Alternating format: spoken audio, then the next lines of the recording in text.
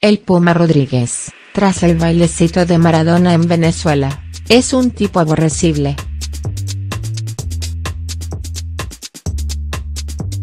Diego Armando Maradona bailó este jueves en el cierre de campaña del dictador venezolano y candidato a la reelección, Nicolás Maduro, en Caracas, reafirmando su simpatía por el gobierno chavista y el mandatario de quien se ha declarado un soldado.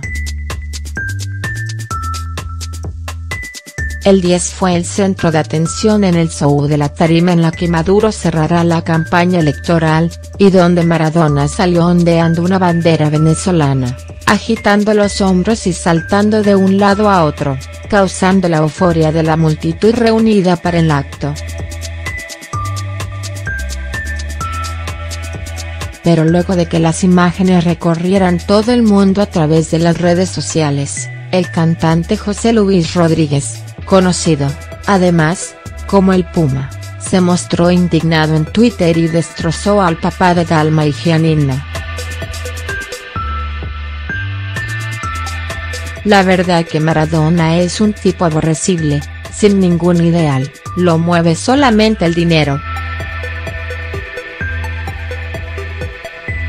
Ahí está en Venezuela burlándose de los presos políticos, de los que mueren de hambre, de los que mueren por faltas de medicina. Dios tarda pero no olvida, fue el mensaje lapidario del ícono venezolano.